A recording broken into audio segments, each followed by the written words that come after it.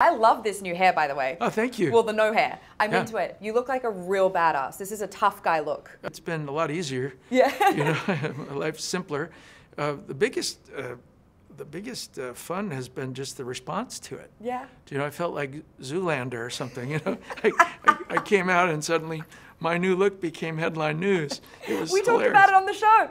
Yeah, it was like one of the, the leading stories of our show. I've never. The only other time I was a leading story was when I mispronounced in the Oscars. Well, what did your wife think of it? What did Kelly think? Oh, she loves it. She has always loved the idea. What inspired the new look? Is it for a role or something, or you just? No, I also have a friend, a good friend with uh, Armando Perez, Pitbull, who he lives his life like this, and Mm-hmm. he would he would send me pictures of me. You know, and I have all my hair. He'd he'd superimpose no hair and say, "I prefer this." so I thought, you know, maybe there's enough between my friends, my family, the people who work for me, kind of championing this whole idea Uh-huh. that maybe it's time to actually do it. You are on social media, and you debuted this look on social media.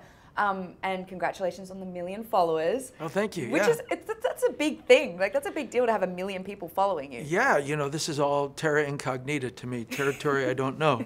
and apparently it was, and, and therefore I wanted to acknowledge everyone for, for, for liking it. Yeah. I do only put things on that are very personal to me and that are interesting to me. And Then your kids are probably so I'm so used to it. And, they'll even, like my son said, uh, let's do that over. and he loves dirt biking, so I guess he's very adventurous like you. oh, he even more so. Really? between his gymnastics and the flips and the jumping with the dirt bike and uh, you know you got to let them have that you know you can't make them scared of movement And then Ella's acting as well. yeah Poison she- Rose, the film you guys oh did my together. gosh when are we she's so get to see good at soon This year? soon a matter of fact yes this year they're putting the music to it right now and and uh, pretty soon so uh, you'll get to see my my beautiful daughter act Is there any part of you that wants to deter her from being in the industry, or you just No, like go because? I don't think there's a better life than we have as artists. I mean, we have the golden ticket to the world. Mm. Why would you want to deny someone that? The last time I saw you was actually with you and Olivia together.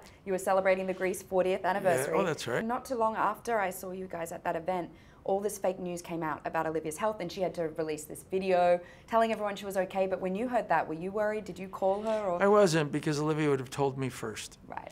And I thought, ah, she, I hate that she has to go through that. But the great thing about Instagram and other things is you can cancel fake news like that. One more extra? Hit the subscribe button and the bell and never miss a video.